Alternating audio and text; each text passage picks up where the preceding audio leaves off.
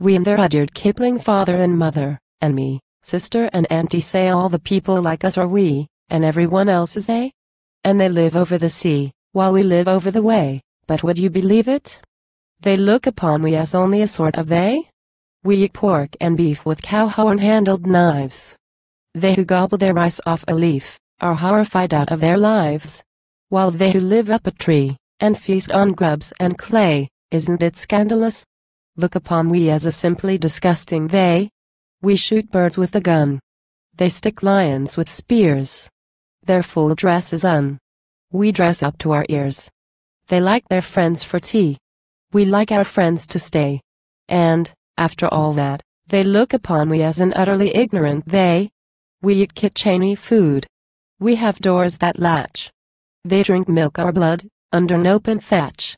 We have doctors to fee. They have wizards to pay. And, impudent heathen.